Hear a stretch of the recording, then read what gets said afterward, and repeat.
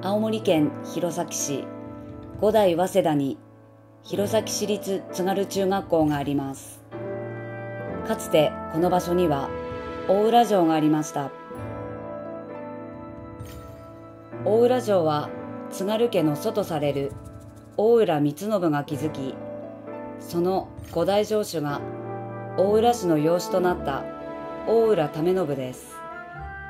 後に為信は津軽為信と名乗り弘前藩初代藩主となるのです。なぜ養子である為信が大浦城主になったのかそれには理由があります。それは三代目城主大浦正信が天文10年にワット城を攻めた際に討ち取られました。四代目為則はとても病弱で武将の素質がなかったと言われています。為則の弟森信は南部家相続問題での内乱により戦死しました。このようなさまざまな出来事により為信は養子として迎え入れられ大浦城主となりました。大浦城は美高地に築かれた城です。城の規模は東西500メートル。南北250メートルほど。6つの車から構成されています。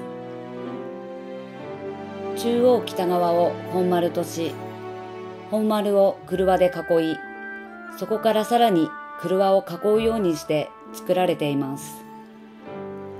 この城の構造は弘前城にも通じるものがあり城の車の形状がよく似ています。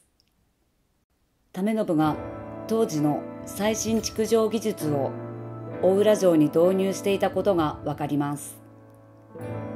近年までは城の全体の形が明瞭に残っていましたが今では学校の開設や道路建設宅地化の進展により多くの遺構が失われています。大浦城はこの世にはありません。為信が津軽統一するための第一歩とした大浦城。ここから為信の快進撃が始まっていくのです。